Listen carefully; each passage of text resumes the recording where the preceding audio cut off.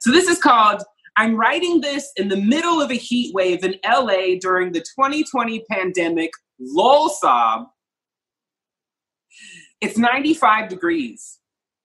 I'm sweating off my Kiehl's tinted moisturizer. I don't think I deserve air conditioning generally, so all the fans are on full blast. It's week seven of quarantine.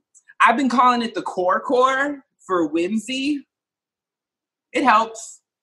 I have a Zoom with the Scream Queen team, a podcast I co host about scary movies. I wash my hands. I tell them it's really hard watching scary movies right now. I can't consume anything with tension. Roy is sending me a Marco Polo about where to store potatoes.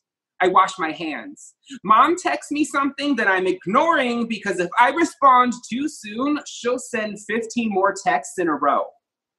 I'm doing a house party with Lauren. We like to play its version of Pictionary because neither one of us are particularly good at drawing. It launches us into giggle fits. It helps. It helps when my body knows she's not in front of me. I hate cooking. I suck at it. I wrote a whole book about it. I did a lot of research on it. I wash my hands. I have an interview on Instagram Live with a chef. He says, You know so much about cooking, but you can't cook? I say, Yes. It's a Greek tragedy. I live. My director is about to send me her pass on my script. Without saying too much, the main character is named Tommy, and he's from a reservation in Southern California who lives in Brooklyn and is a poet. I have imagination. I read my mom's texts. She tells me how to scramble eggs. She tells me how to make tortillas. All I want is fuzzy comfort. I wash my hands. I ask her to look through old photos because the Scream Queen team wants a pic of me as a kid in a Halloween costume for Instagram promo. the thin membrane over my wobbly panic fins. My furniture deals group chat is talking about our enemies. I wash my hands. We talk about ain't shit men. When lockdown started, I told them, I love y'all, but I'm not reading your quarantine essays. Writing this is hard. It's the first thing I've written in seven weeks. It's a quarantine essay. I convinced producer Alex to do an hour's worth of Tracy Anderson DVD workouts on YouTube with me every day. Tracy time, we text each other each afternoon. It helps. Mom texts me oh, an old school picture day pic. I think it's second grade. I have silver teeth and a res mullet. My unsafe space group chat is talking about BMs. My Hail Paimon group chat is talking about Midsommar. Again. Mom texts me a picture of Papa and his Wild Bunch jacket. My house party with Marcos and Tasba, which we call House Party Dolls, is tectonic in laughter. Then it ends. I'm in my living room again. I turn off my lights. I lay in bed. I wash my hands. I wash my hands. I wash my hands. Ryan sends me a Marco Polo reminiscing on the universal demon gay pish posh about being young and love and a straight guy. Ryan is six feet a hundred. We used to have a, a flirty thing, but now we have a friendly one. In my food for thought group chat, that's thought spelled T H O T. Uh, the the the group, the gaggle is all caps about the new Tracee Ellis Ross, about the middle aged singer who wants to record some more bops. It helps. Oh, Lord in heaven, does it help? Hmm. Mom texts me a pic of preschool me on my old bed with all my stuffed animals at attention. I liked seeing their eyes at night. I felt less alone. I FaceTime with Nikki, She's my favorite photographer. I wash my hands. She said, It's hard making art. It's Monday. It's Saturday. It's the 5th. It's the 15th. We end our chat. our chat tipsy, drunk, saying, let's have another one. I wipe down my groceries. I wash my masks in the tub. There's the one for when I get the mail or take out the trash, and there's the one for my run. I go to the bathroom. I shut the door. I turn off the lights. I sing. The pounding slows down, and I smile like I full on grin. I'm sweating off my tinted moisturizer again. Joe is a virologist. He says that we've been isolating long enough that we can start to open our social circle by one, as long as we trust they've done the same. It's more than one, but it was a nice rhyme, so I chose that word. I'm writing. It's my dominion. Morgan is my plus one. It takes me three Janet Jackson songs to walk to her. Her dog barks a lot, but it likes me now. I want to cry. I'm in the same room as someone else, with someone I love. Mom texts me a pic of her and grandma at the table playing guitar. These aren't what I asked for, but I couldn't ask for more. I think of little me after bedtime, sitting in my sleep shirt in the door frame, listening to mama and grandma making music in the other room. I'd fall asleep like this, comforted, and mama would lift me back to bed by herself. I wash my hands. I Zoom my therapist. I do cry. It helps. It helps. It helps. Thank you.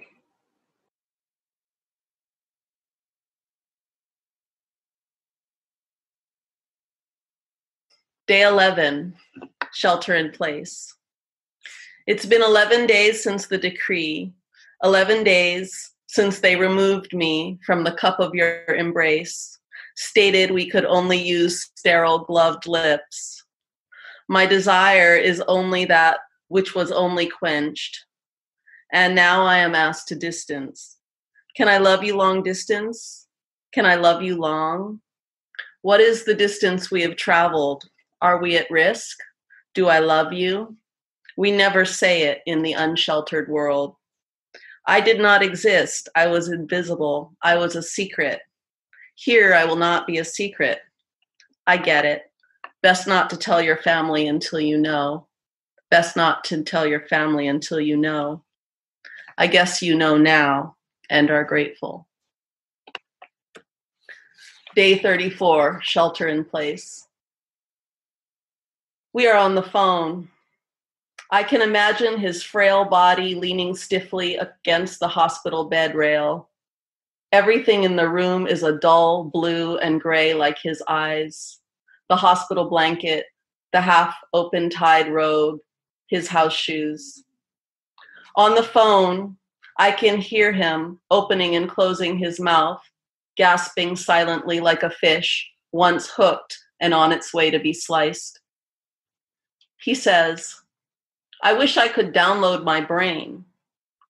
My own brain spins to receive this, knowing he has not ever used a computer. Yes, I say. I keep imagining this phone line is a connection between us. Well, yes, it is, I say. When I close my eyes, he says, I can see it. I close my eyes. I was wondering, he resumes, do you know where we could get any LSD? LSD, I ponder. Why? Well, we could take it together.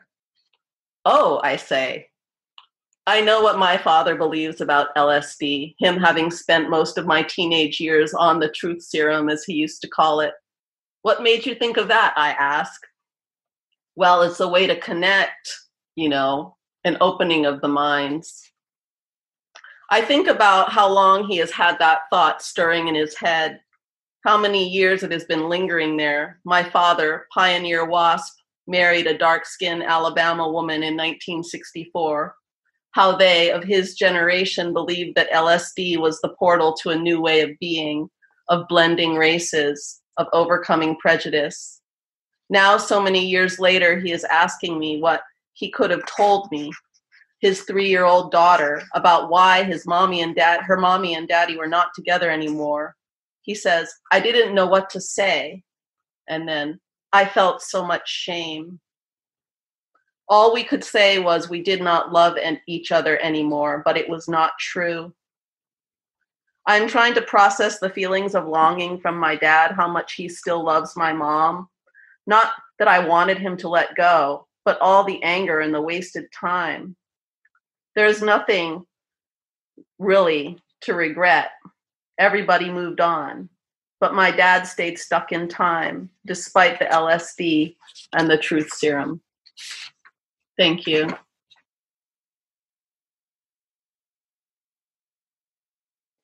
Single with a side of quarantine. I love the quarantine for it shifts the communal access of the world closer to my kind of loneliness.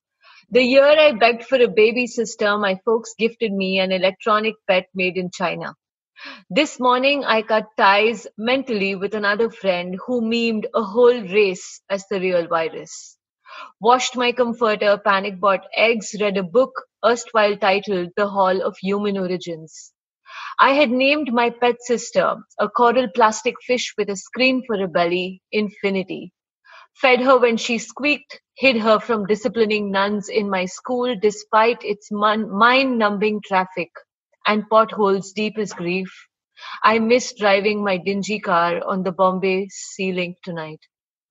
I am craving the salt soaked wind to ravage my argan oil pressed hair. I come from a blank page with just the word eroticism doodled in its center. These days, I wonder if I can sell the condoms I hoarded at the women's clinic over the quarantine black market. My room is lit by a vase of Billy Buttons, yellow undying bulbs that need no care. The week tastes like brown rice and broccoli. It is the 12 year anniversary of my mother's passing.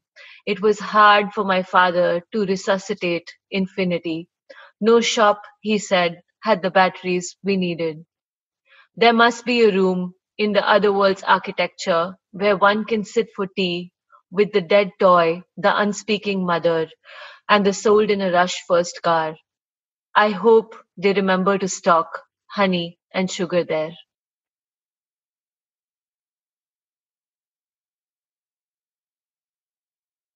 Here's a quarantine uh, poem for my family. This is quarantine poem number five.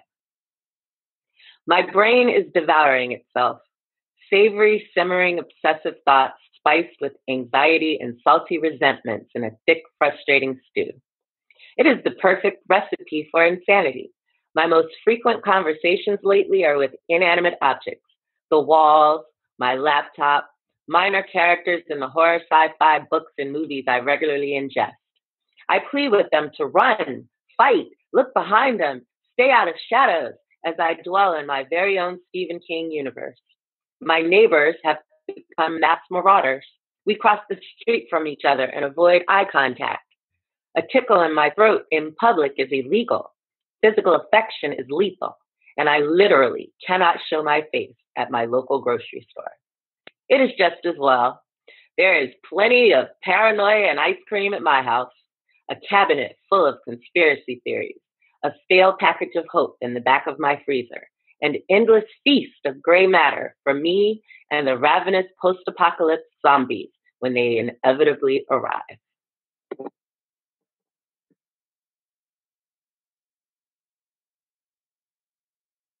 Living in New York in quarantine, uh, quarantine in Corona Central, I've noticed that there has been an influx of roaches everywhere. All right, so this is this is for the roaches who are living their best lives right now. It's called When. Looking out the window, roaches are hungrier, sure, but are finally allowed out in the daytime. The role of irony now between brick casings and dull kitchen lights humming, we are humming while washing dishes and hands and hands don't touch the roaches are growing in numbers in parks, in concert halls, in stadiums, laughing and playing while we watch.